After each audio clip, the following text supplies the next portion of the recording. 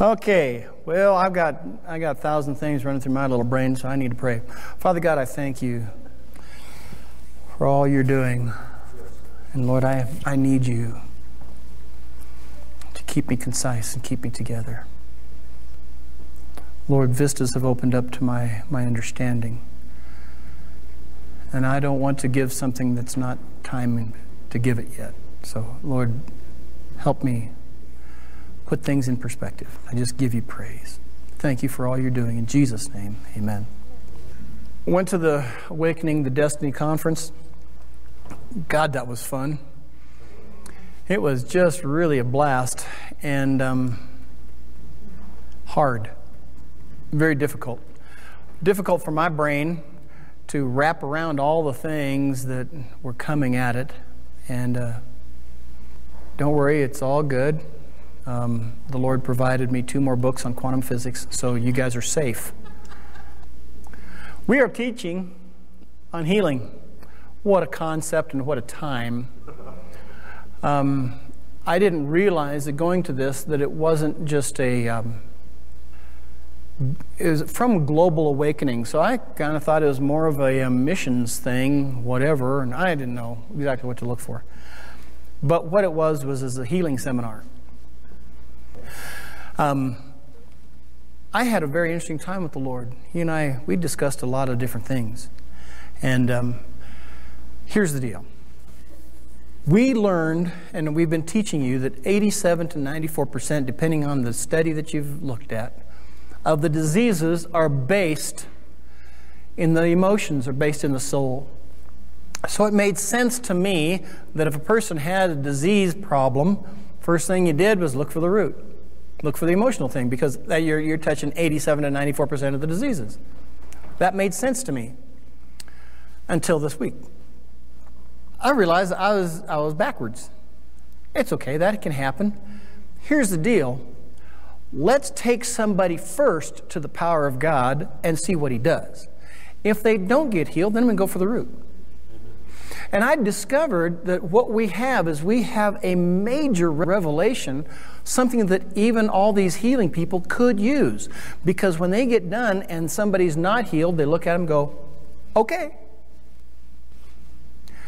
You may get healed as things go along, you may not, whatever. And they don't know, they really, every single one of them did not know what to do with the people who hadn't gotten healed.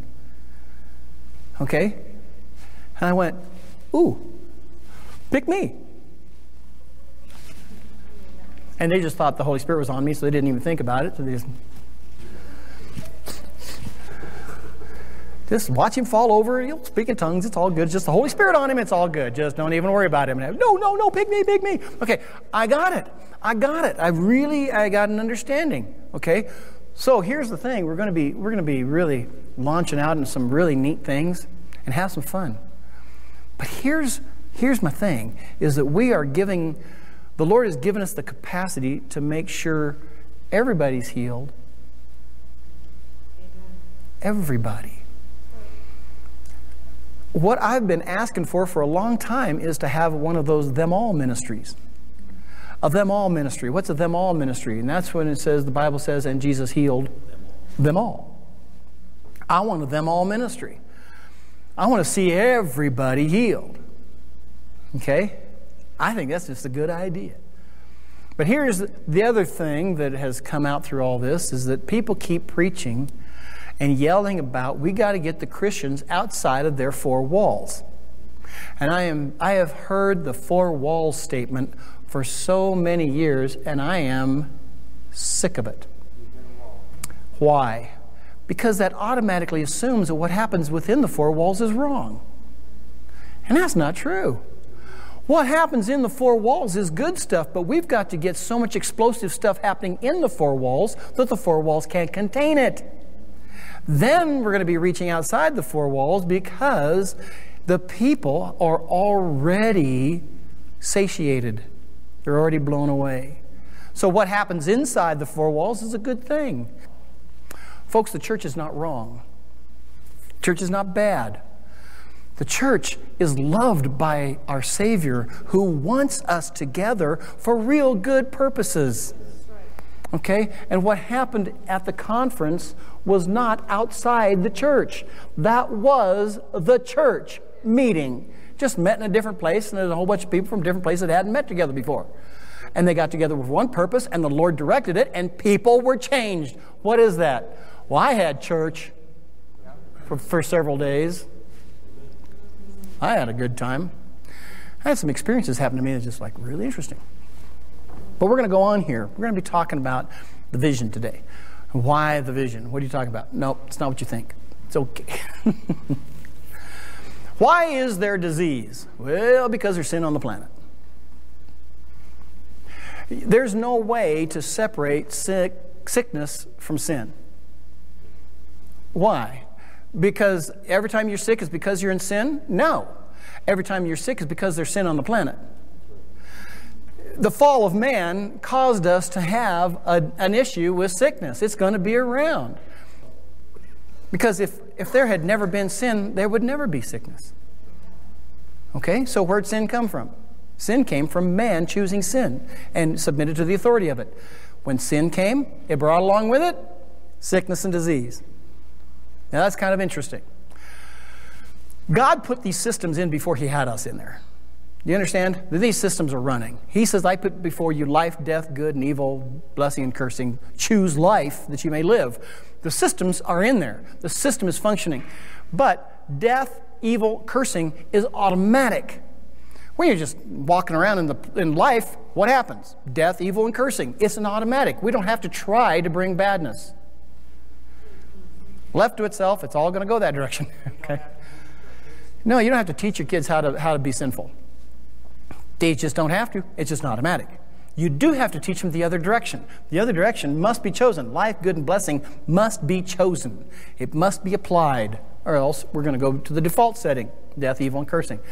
We are commanded, though, we found out last week, well, actually, we found this for a long time ago, but we, as we were teaching last week, that we are commanded not to judge.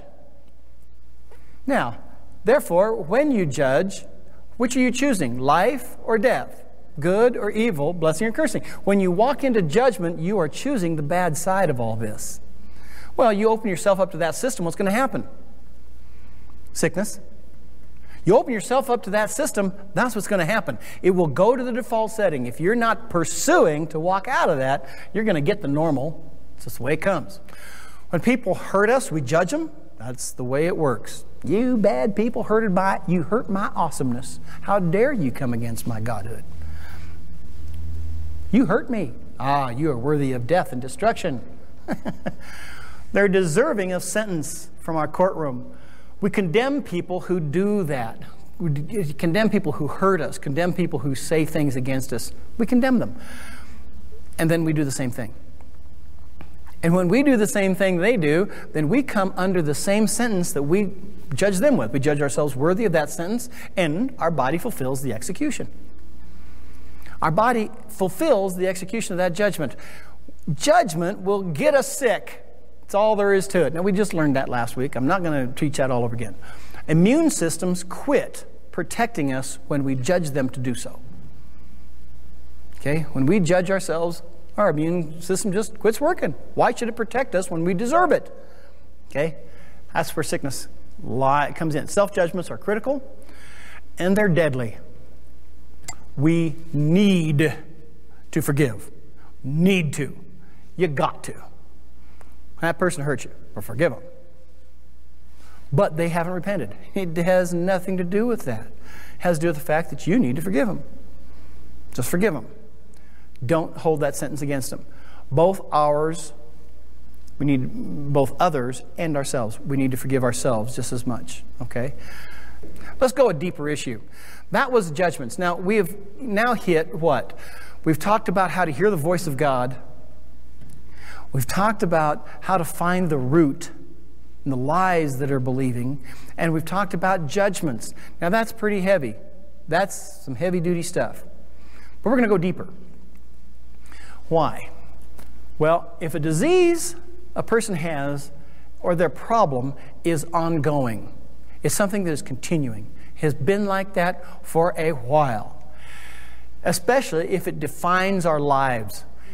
if a sickness defines your life, it is the same, it just defines what you do. It, it does everything. It takes time and money consistently.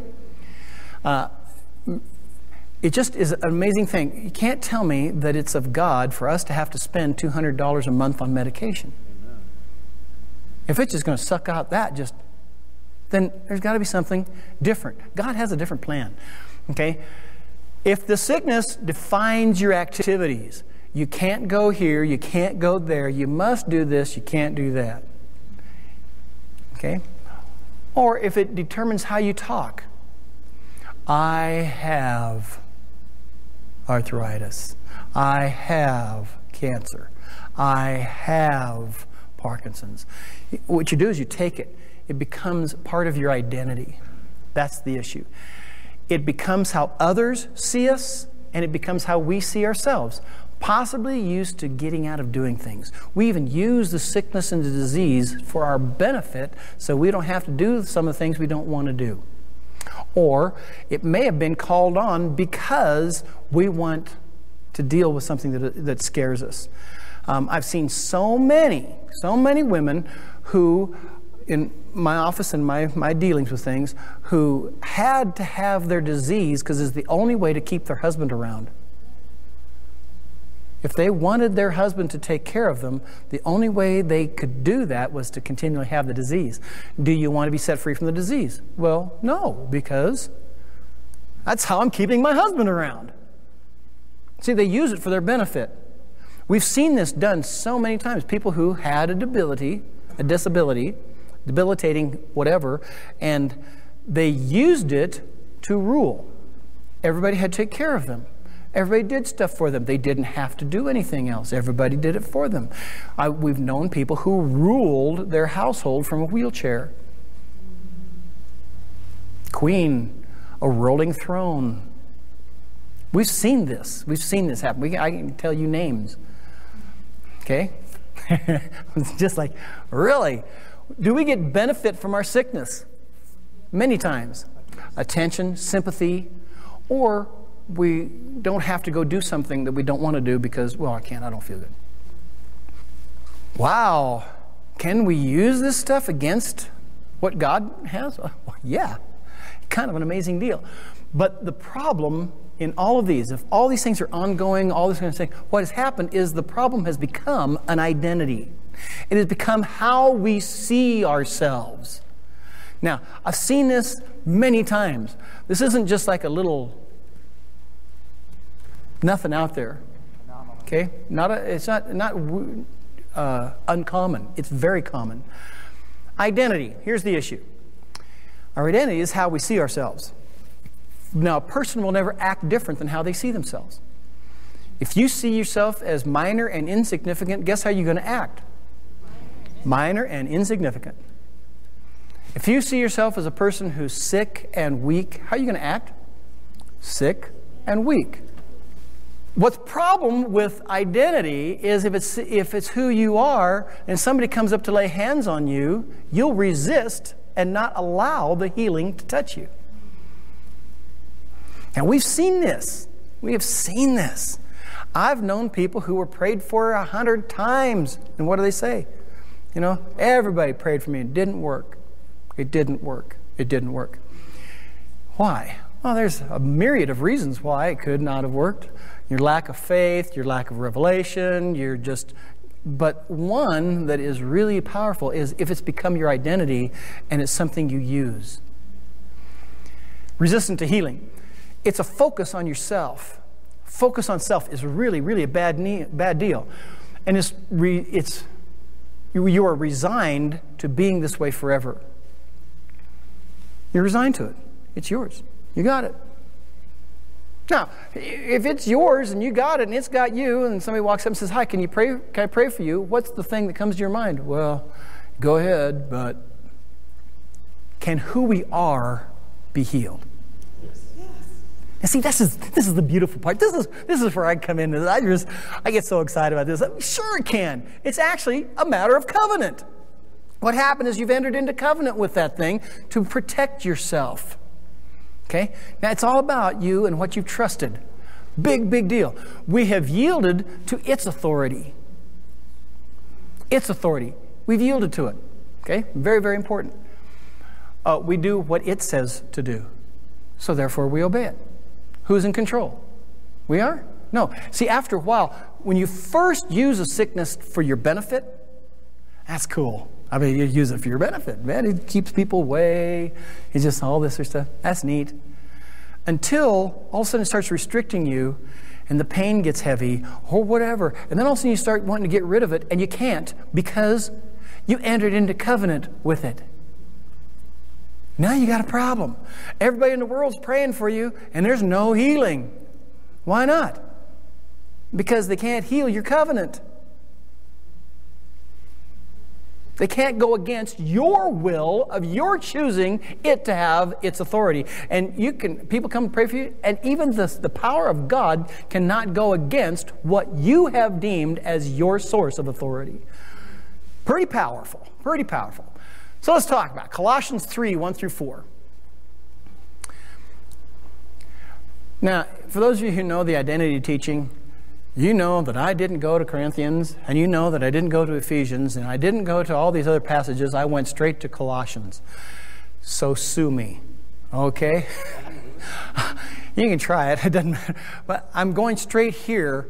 Why? There is more to Scripture on this. There's a whole, a whole series on just this thing. There's more to it. There's more Scripture than just this one, okay? But this is the one that really labels it out well. So we're just going to go to this passage. It says, If then you were raised with Christ, seek the things above. Now, this if then is not that if and it might not be true, if, if it is, if it isn't. No, it's not that condition of conditional. It's not that stage. What this is, is the if then you've been raised with Christ and it is true. That's the, the sentence structure. So it would be better to be translated, since then you were raised with Christ. Okay, this is that kind of, I think it's a third degree conditional. Okay, I've looked up the first, second, third degree conditionals and how they worked, and I got confused.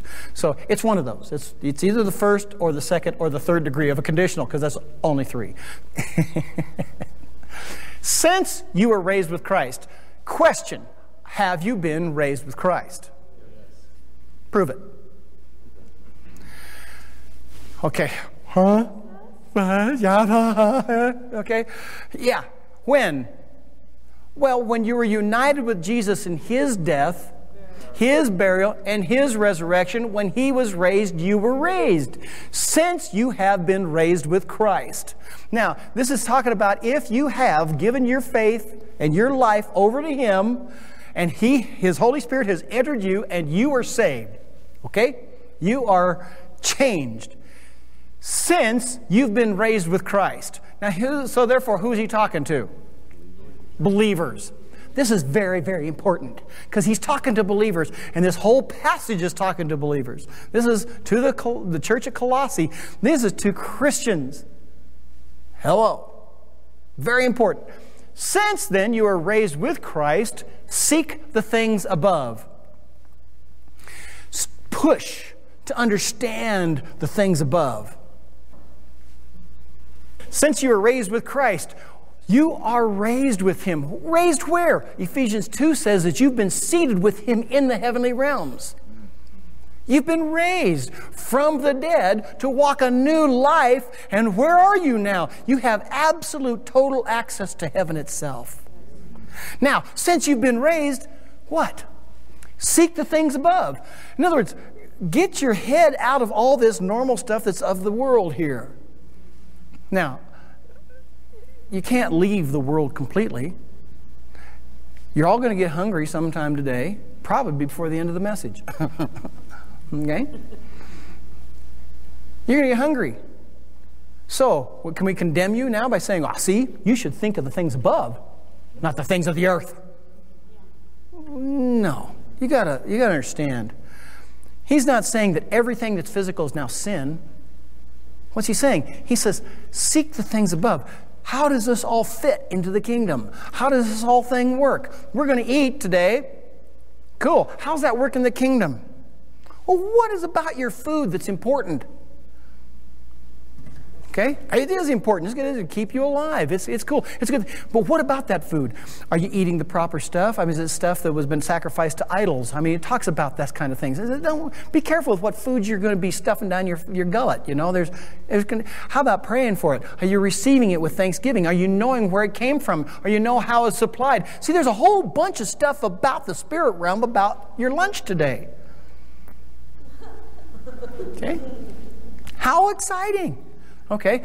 Take that food with, it, with thanksgiving. Now, what's in that food? If you know anything about processed food now in today's world and all the different stuff that Monsanto has done and all the genetic enhancements, quote unquote, and all this stuff, you don't even know what you're eating. Even the people that study it don't know what they're eating. They just kind of like, yeah, yeah, you know. Okay, how cool. Now, let's seek the things above not the things on earth. Let's see what I can take that food and I can understandably by my faith thanking the Lord for what he's done for that food change the molecular structure of that food and what is poisonous will not hurt me. You say, "Really?" Yeah, it says you drink poison, it won't hurt you, and all that good stuff. What are you doing with it? Well, you're taking the things of the earth and you're making it submit to the things of the heavenly realm. Who are you? Well, You are a saint. You are a heavenly being that's on this planet. What is inside you is you are housing the Holy Spirit Himself. Why are we stuck on this thing? We got to understand, we are better than this. We're more than this. What was that happened to us? Who are you? What are you? What's happened? We got to learn these things because that's why the Lord gave us the scripture so we can find out what really happened. It's too cool.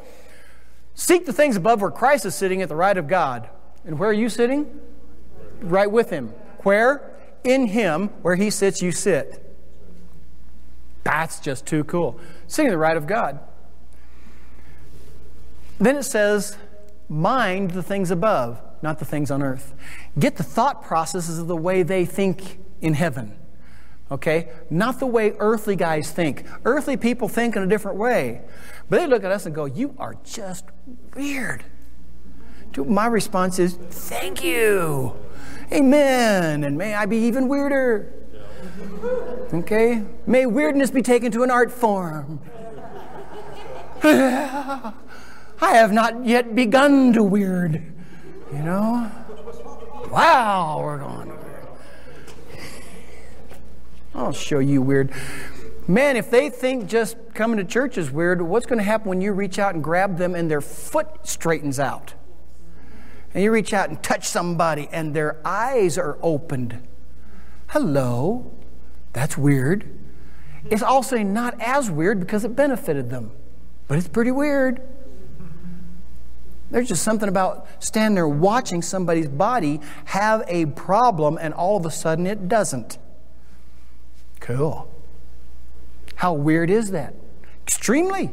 And I'm in. Mind the things above, not the things on the earth. We got to have our thought process the way they think there, not the way they think here. Can we change food? Sure, why not? Why do we pray for it? God is great, God is good, and we thank Him for this food. Amen. But then it says this For you died, and your life has been hidden with Christ in God.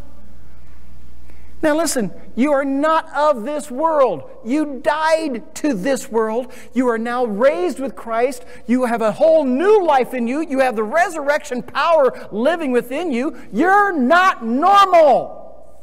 Amen. Not to this world, but you are becoming normal to that realm. What is normal to them? You died. Your life has now been hidden with Christ in God. Okay? I should have brought up my little jar, my little jar with the glasses in it. Okay? The idea, I have two glasses. One's a, you know what they are. They're down there on the thing. Would you go grab them? I'll just do that real quick. Both the glass and the jug with the glass in it. Okay? You died. Your life has now been hidden with Christ in God. Now, the issue that I want you to see here is with Christ. With Christ. How close are you to Him? Now, we're talking about a person, the person of Jesus Christ, a person. Do you know him? This sits down on my bookshelf down there forever. I have had several people walk up and go, Why do you have a glass and a jar of water? I've never had anybody say, Why do you have two glasses and one of them is in a jar of water? This is invisible. They don't care about this one. This one makes doesn't matter at all. Why? Because it's just normal. It's just a glass. What's it for? You fill it with liquid and you drink from it. That's what it's for. This one is weird. It's not for you anymore. It's set aside for God's use only. Sanctified. Set aside for Him. This is it. Its whole purpose has changed. It's no longer a glass for people to drink out of. It's an illustration for Jesus now. Now it's the whole purpose has changed. Its life is now different. It died to its former life and is now hidden in the water in the jug. Its life is different now. This is who you are. You see, what is really cool is it's almost hard to see that glass in there. Okay? Why? Because it disappears because it's not about us, it's about Him. So we disappear to us. Isn't that just a too cool of an illustration? Every time I've taken this people, people, okay, and I've had several people just go out and buy jugs and glasses and fill it with water and have this sitting in their home. Okay? People who do this ministry, who do our ministry, they do this. This is a good illustration. By the way, it's also a perfect illustration of the baptism of the Holy Spirit. That's a whole other issue. Okay. Okay? Your life is now hidden with Christ in God. It's in Christ. Whenever Christ our life is revealed, then also you'll be revealed with Him in glory. Whenever Christ our life is revealed. Now, whenever Christ comes and manifests through us here on this planet, who's He come through? He comes the real us. He can't come through the false us, the self us, the, the sinful parts, the parts that are not of God. The only parts He can come through are the parts that are of Him. Isn't that too cool? I love this passage. This thing is so cool. All of this makes it sound like this is right now.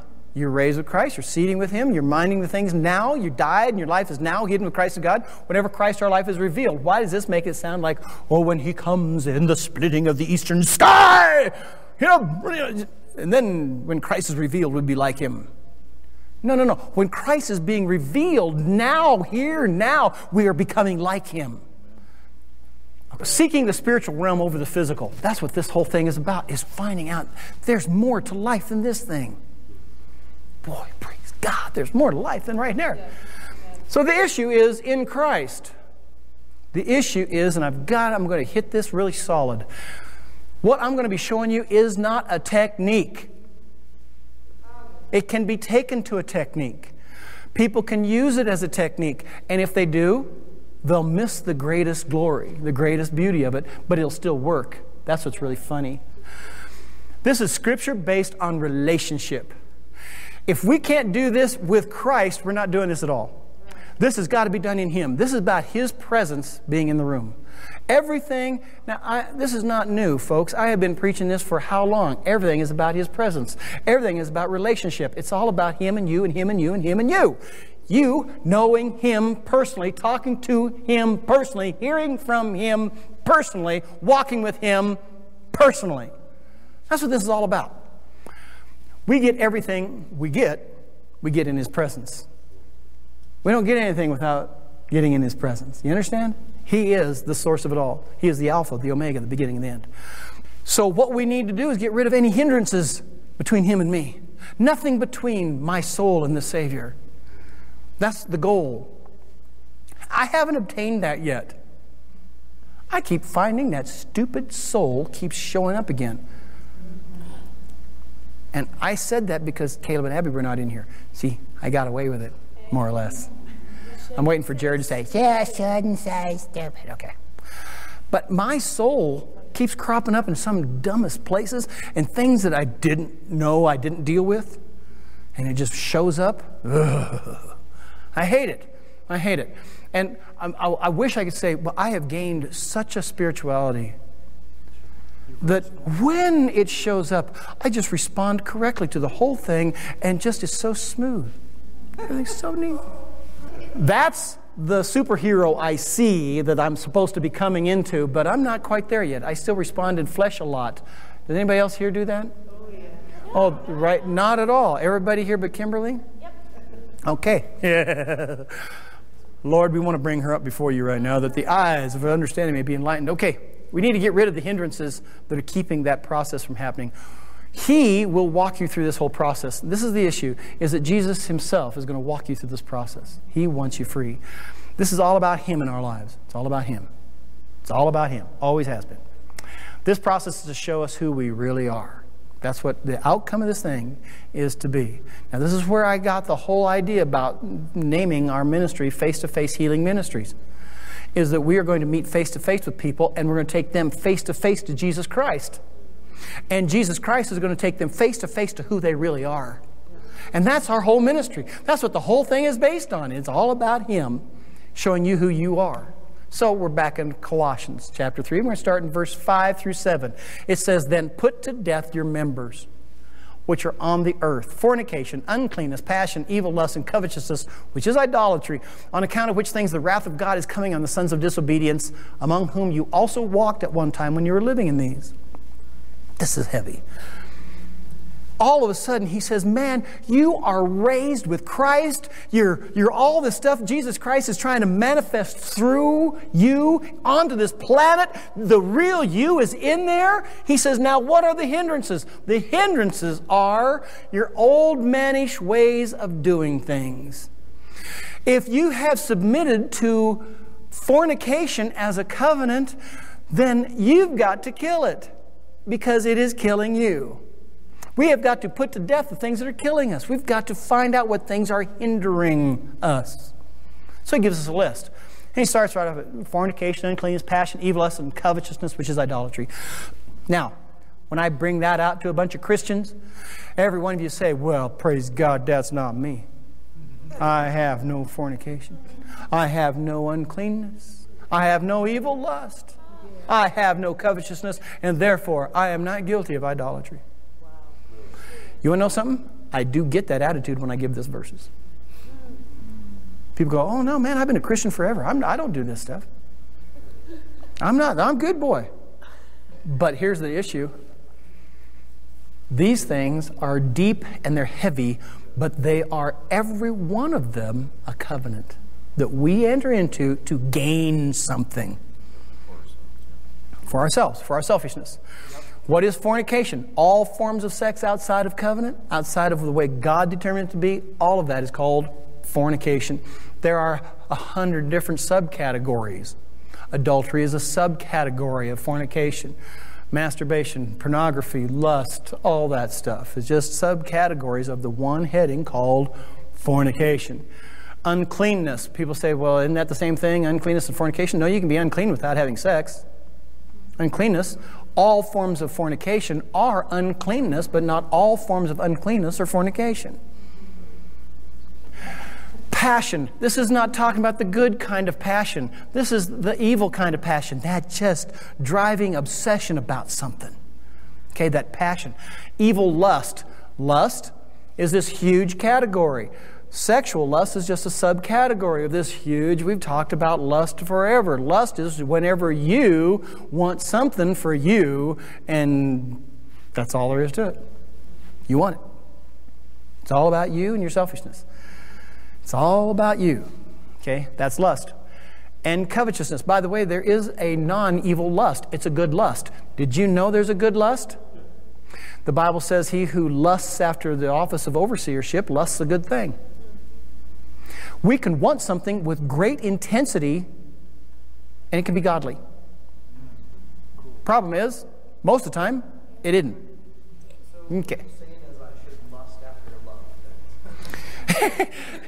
you got to say that again for the microphone. You got to say this again. This is really so good. What you're saying is I should lust after love. Absolutely. You should want the love with all that is within you. Yeah, all right. Yeah.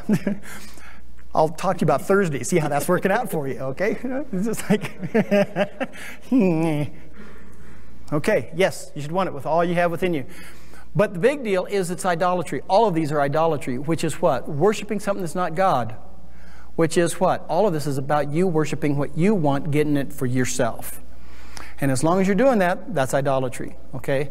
But now that we got that kind of out of the road, you got to see this then put to death your members. In the sentence structure, who does the putting to death? You. Isn't that wild? You're the one that does the putting to death. Why? That's right. You gave it life. You gave it life. You entered into covenant with it. Now you have to break that covenant. And I keep hearing people saying, Oh God, take away the porn, take away the fornication, take it away. How many people have said, Oh God, take away the alcohol, take away the drugs, take away the, take, take away. And God, I'm going to tell you right now his answer. His answer is no. Why? It's not up to him to take it away. It's up to you to break the covenant with it. And until you do, you're passing it off and saying, well, if God doesn't take it away, then I'm just, um, I, I have it. It's not my fault. Sorry, it is your fault because you entered into covenant with it. Okay, now we've got to understand. God wants us to do something with it, and He tells us in the scripture, you take it off. When sin becomes our identity, this is what this is all about. Sin has become our identity. It's become a part of us. It's become a member of our body, or a member of our being, just like our, finger is a member of our body. It's a member. It becomes an identity. It becomes part of us like a body part. Now, here's where we're going to change things just a little bit. What happens when sickness becomes a part of us? See, when we use the sickness for our benefit, what is it? We're entering a covenant with it. It's the same thing. It's idolatry. It's all about you. That's why it can be part of this. Identity. We made it a part of our lives. Now, I've got this neatest story to tell you what happened to us. I got this story. I'm just begging to tell this story. I'm waiting, but it's, it's coming. This is going to be so cool. We gain something from our sickness we make that sickness part of our lives. We use it for our selfish advantage. We talked about that before. It has more control than we actually want it to have. Therein lies the problem. Now, this has come to me four times now, so I'm going to just say it. Okay, get the car running. Here we go. Fat. The majority of women get fat to protect themselves. Then they fight all their lives to lose the weight that they have entered into covenant to protect themselves with. If a woman has been molested or even solicited too heavily or even too much pressure put on her sexually or for favors, for whatever, she will gain weight to protect herself because she's not as attractive. Now she gains the weight to protect herself. She's entered into covenant with the fat. And then she goes to the fat later and says, Go away. And it says, No, we have a covenant. And so they go spend all this time, energy, and money on all these diets that will not work because it's an identity deal. Oh, yeah, uh, men too. Men can be the same thing. Men can be, okay? But I'm just saying that I find this with women an awful lot, okay? Men, there's other issues usually, but with this one, it's just a common, very, very common thing. Can be with men too, okay? Um, men can use it to protect themselves, not necessarily from sexual advances, but from other things, because I've seen kids get fat just so that they wouldn't have to play the sports because the sports hurt them or they were ridiculed by it or something, and so they, they put on the fat so they wouldn't have to. Okay? But listen, I've seen the same thing with asthma. People taking on asthma so they wouldn't have to participate in things they didn't want to put, participate in. We had one lady in my office that found out that she had done that, protect herself, because she had been molested, and we had dealt with the molestation. She dropped 80 pounds. It's too cool. I like it. It may have started from an outside influence, but we called it on to gain something. We called it on ourselves. We give it authority. We may want to get rid of it, and now we can't. Because it's more than just a decision, it's, it's, an, it's a covenant. Now it's deep. Now it has a grip.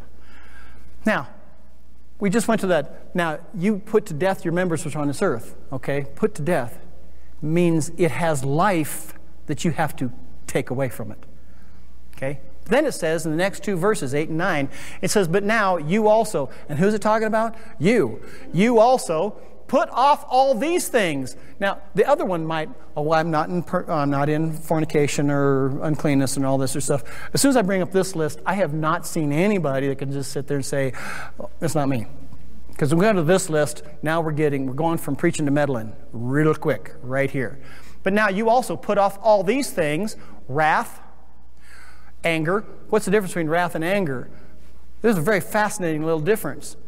Wrath, when you find it in Scripture, is when God's wrath comes on the planet because He has a judgment against it. So, what is wrath? Wrath is an anger that has a judgment behind it. So, if you judge somebody with the anger, then what do you have? Wrath. Okay? Put off all these things wrath, anger, malice, just doing something because it's mean. No, no, we wouldn't do that unless we were married. Uh, we tend to do that. Okay, you know, really understand. But we do that. We do sometimes we just do something just because I'll show them. that's malice. Evil speaking. I think that's pretty self-explanatory. Shameful speech out of our mouth. And then it says, "Do not lie to one another." Lying.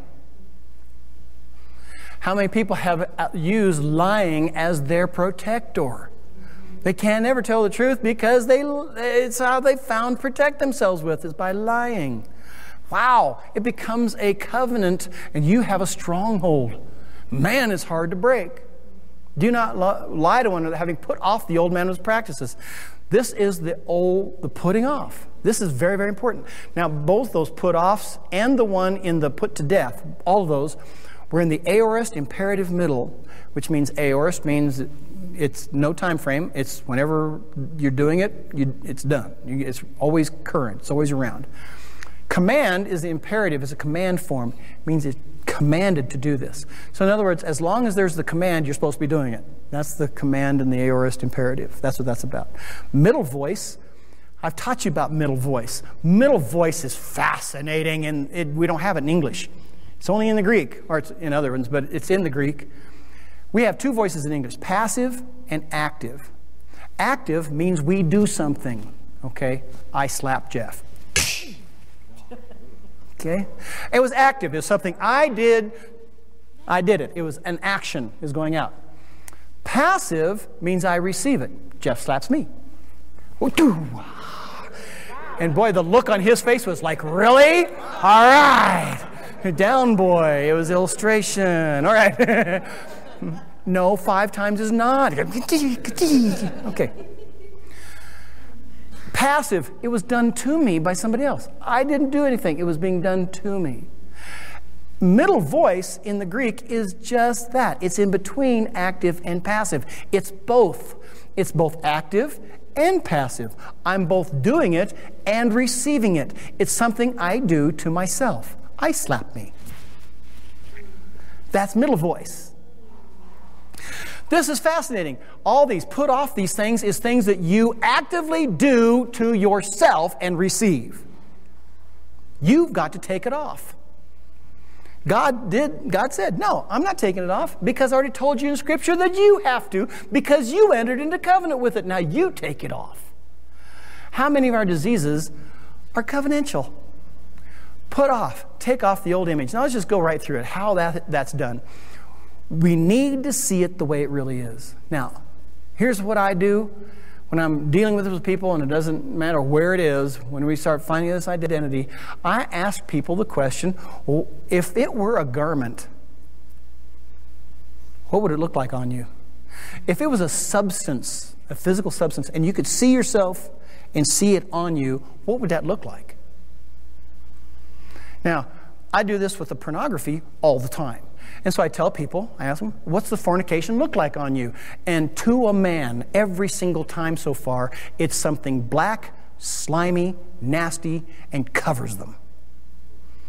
How's the porn look like on you? Oh, it's just this stuff that's just like, ugh, and they just, and I let them describe it, and I say, does it have a smell? And you see them go, ugh. Does it have a feel to it? It's slimy. And they, they give this really intense description of it. Why? Because they know it's real. This is God doing it. Now, what about your sickness? What does the sickness look like on you? Okay, I'm just going to bring out just one for the grins. Migraine headaches, headaches, headaches, headaches, headaches, they infuriate me. I have never had one. I've had a bad headache, but I know that's the people who have had these things tell you. You don't know. Anything about a headache until you've had a migraine. Debilitating. Hammer your eyes. Light, any light is painful. Sound is painful. What'd you say? Death seems the better option. yeah, just like tell that cat to quit stomping across the floor kind of pain. It's just, I've, and, and it debilitates. Miranda has had them. And just like, and man, as a parent, to sit there and watch your child go through this is just horrible. Jared has had headaches. God, I hate him. Let's say a person didn't want to go somewhere, didn't want to do something, was really fearful over it, and decided to have a headache instead. So they had an excuse not to go. And they called on a headache. And they started getting worse and worse. To pretty soon, you have this thing that has now taken over your life. It's called a migraine. I've seen this. People get set free from migraines by what we're doing. This is why I can use this as a good illustration. I hate them. I've never had them, but I hate them. So I have asked people, what does the migraine look like? If you looked at yourself in the spirit realm and you saw yourself and had a migraine, what would the migraine look like? And man, the descriptions I've heard is like it's metal bands wrapped around my head with spikes going in them. That's what I've people have seen, where it's just this, this stuff that's just, just in their head.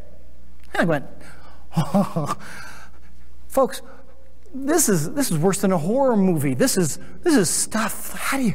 This is inside. This is the debilitating pain. And one person said, "I see nails driven into my eyes." Okay. Another one had a pincher like is almost like a, a lab, lobster claw, only is made out of metal and is clamped around the back of their neck. Now, if the Lord is giving people these kinds of pictures of what it's like to have a migraine, what's going on? You have to see it. You have to know what it is you're fighting. Okay? See what it really is. The realm of sin versus grace. Now you got to understand, I'm not there to try to make them feel guilty. That's not the issue. The issue is to deal with this thing. So we ask the question Lord, would you show them when they entered into covenant with this thing? When? And you take them right back to a memory, boom, then and they see it happen. Each time they've seen what was going on with it. What do we do? We let the Lord show you when and why, what was going on with it. First thing you do is say, Lord, I entered into covenant with this and it was wrong. Would you please forgive me? And hear the answer. Hear the answer. then you've got to forgive yourself for letting it have authority. You see, you got to forgive yourself, right? Because the judgments do what? Keep the sin there. So you got to ask forgiveness and forgive yourself for letting it have authority. Then you come back to the picture, come back to the present. And this is what I always say. We're going back to the past. We do time travel. We go in the past and we find out what it was. We break that lie, break that stuff. Then we come back to the present and you look at it and you see the, the bands of metal on your head, whatever. Look on that screen. What does it say? Speak to it. Why? Because God has given us the power of the blessing to break the power of the curse. So we have to apply it on purpose and we speak to it. Okay, there's a connection between the heart and the mouth, right? We speak to it and we say, I gave you authority I entered into false covenant with you. However, Jesus has forgiven me, and I have forgiven me. That is powerful. Jesus has forgiven me. I've forgiven me. So therefore, I now break your covenant. You no longer have hold in my life. My covenant with Jesus is stronger. Now, come on. Can you see the power of this thing? You've given it covenantal power, and now you're taking the covenant that Jesus has with you and you're breaking all previous covenants, is how you can do that. Because his covenant is stronger. Remember communion today? This covenant surpasses them all. You have no more, you're telling this thing, Migraines, you have no more authority in my life. Boom. I break your power to be here. You must leave. this is getting too good, right? Migraines. Why should they have part of our life? I don't care what it is. Any disease can be broken. Anyone. It's identity. Then I tell them, okay, start taking it off. Now, see, they have authority now. They put it on. They couldn't take it off before because they gave it authority. But now they have authority back. Now they can take it off. I tell them, take it off and throw it down at your feet. Why? I want them to see it here before you. I want them to see it in the dirt in front of you. It's got to be here. It's got to be here. Take it off and throw it down. Now, almost always, and I got to say almost always, I can't remember a time when it wasn't, but almost always, there's tendrils from whatever it is that reaches into our minds and captures how we think, or reaches into our heart and captures our emotions. Almost always there's tendrils. They got to break those tendrils off. They're throwing this thing down. They're breaking things off. They're pulling things out. I've seen people just, just take things and go, ow, ow, ow, ow, ow, ow, ow, as they're pulling it out. It comes out like it, it hurts. Are any of you relating to any part of this? You following this? This thing is it has deep, deep roots, and it will try to be sneaky. It's going to try to stay there. You say, this sounds like a demon. I'll just let that ride. I make sure they get it all off and they get it all off. When it comes to the porn and stuff, I have them scrape it off of themselves, and they have to scrape it off their back and out of their armpits and scrape it out of their eye sockets. And I mean, this thing is, especially if they've been doing the porn, they're seeing it, so that it's just jammed in their eye sockets, and they have to get it all out. It's, it's just, it's permeating, it's everywhere. Okay? See, yeah, but this is the whole thing. Until you understand how this stuff functions, how are you ever going to go here? See? And so all you're going to do is you're going to have one golf club in your bag. I'm going to lay hands on you, and that's it. Oh, we've got a whole golf bag full of stuff. Okay? Identity is a driver, it's a big one. And we've got to understand how this works. Get it all off. Now I have them see themselves without it. What's it look like without it? Wow, that's cool. Now, that first passage says, Put to death your members which are on this earth. Put it to death. This is fascinating. I asked the Lord, Lord, what weapon do you have to give them to kill that thing with? It's sitting at their feet.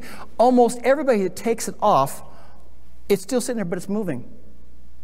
The bands of metal that have the spikes into their head is moving. The slime they took off is writhing. It's trying to get back home. It's alive, and it's a member of their body. And the Bible says, put it to death. Put it to death. So I said, Lord, do you have a weapon for them to kill it with? And that's when fun starts. Now, from here on out, it's been just kind of traumatic, but now it starts getting fun. Because some of the neatest stuff that God has given people to kill these things with is so slick. Swords, lots of swords. I don't know, I think there's an anointing there. But swords, lots of swords, daggers, guns. I still think the funnest one is I saw a guy in a Pure Man conference sitting there going, God gave him a flamethrower.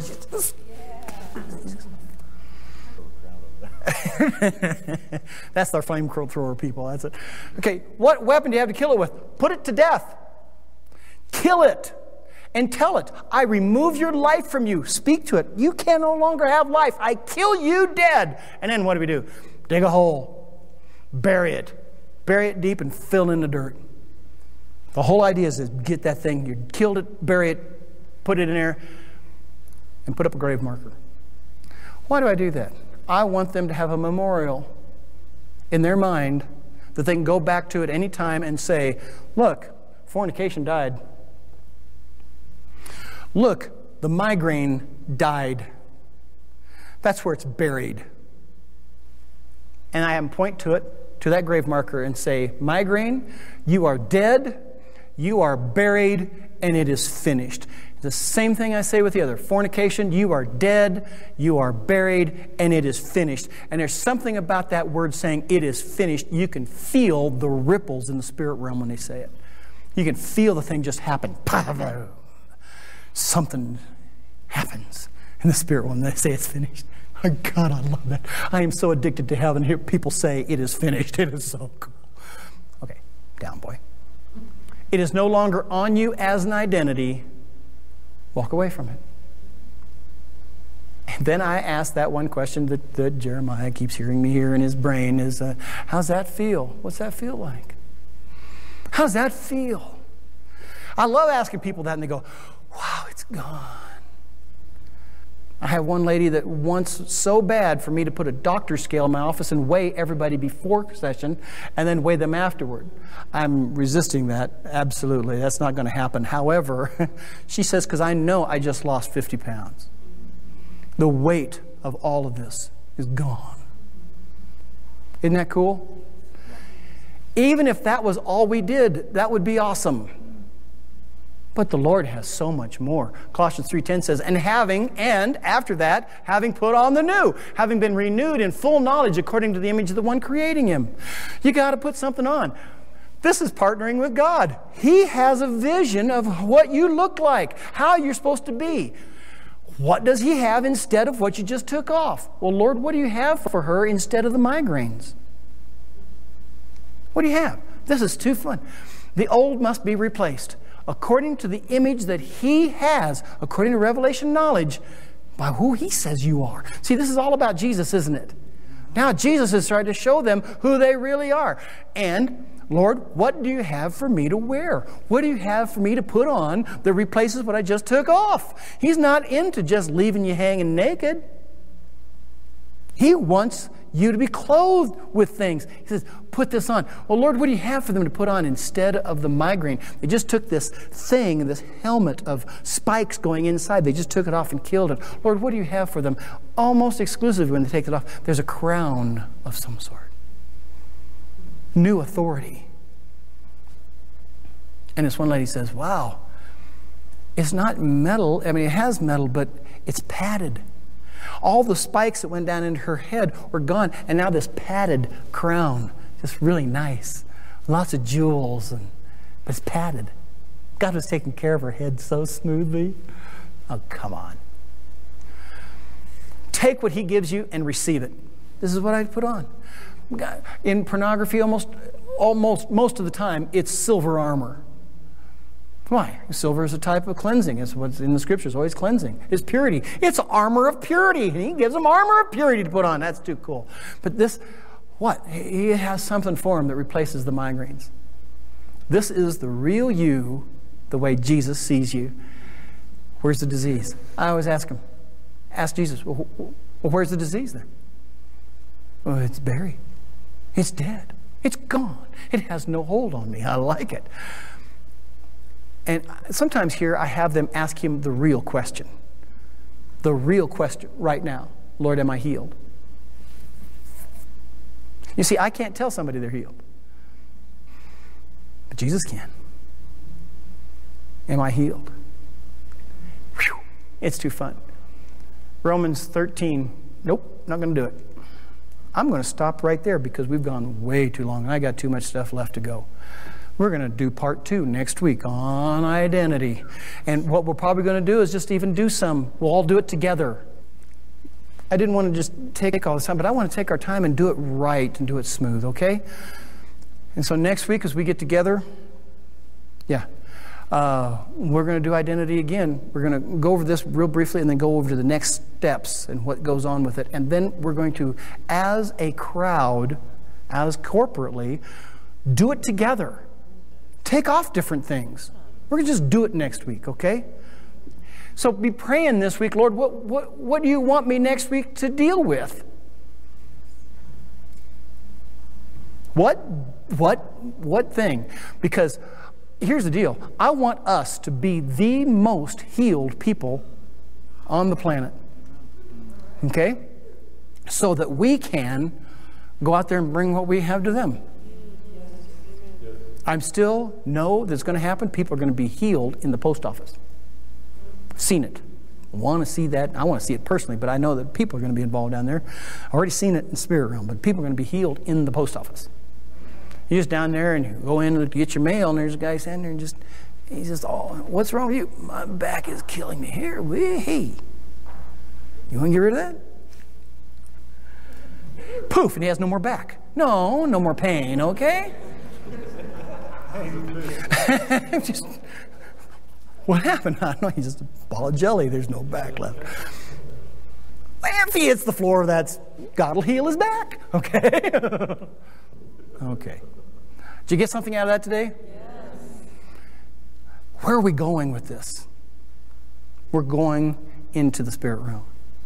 We're going to have it all. Amen? Lord, I thank you for today. I thank you for what you're doing. And Lord, we are just, right now, we are so, so close to watching you deal with the deepest things that we've ever had to deal with and just watch it all walk away. And Lord, it isn't just healing of diseases, but next week, Lord, we're going to see addictions leave. And Lord, we're going to see old things just gone because, well, your presence is going to be here and your word is being used. Lord, we just give you praise for all of this. We thank you. In Jesus' name, amen. amen. Are you blessed?